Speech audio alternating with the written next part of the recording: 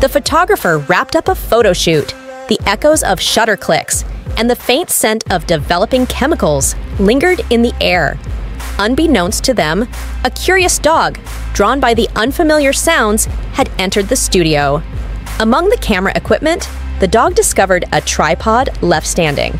Intrigued, it attempted to play with the unfamiliar object and accidentally knocked it over, causing the camera to crash to the ground. Frightened and in pain, the dog, driven by fear, attempted to retaliate against the metallic legs of the tripod. The next day, the photographer returned to find the lifeless dog, a heartbreaking end to a night filled with unintended consequences. Lesson Always be cautious around unfamiliar equipment, recognizing that even harmless objects can become hazards in certain contexts.